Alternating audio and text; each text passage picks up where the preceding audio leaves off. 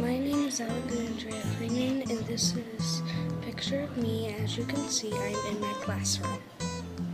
As you can see, this is our Creativity Camp logo.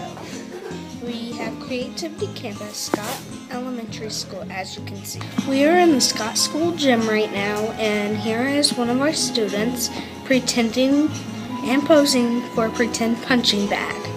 Here we are again in the gym, and this is our Scott School Elementary mascot. Go Tigers! I took this photo in a different class. It was called Stop Motion Class. This is one of the stop motion projects the kids are working on. We are, as you can see, we are outside of Scott School Elementary, and this is a pole that needs to be repainted. That's a little spider.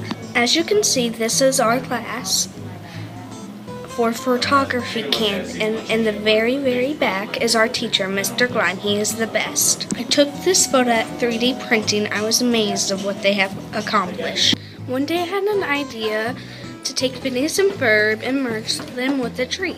I did that with my teacher, Mr. Gleim. Clearly, clearly you can see Phineas and Ferb in one, one little slot, and a tree in another, just like the first photo you saw. I took this photo on the little kids' playground.